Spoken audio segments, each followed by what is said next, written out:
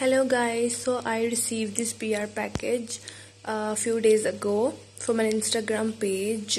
Um, they sent me this cute little cap with the name written on it and this hoodie.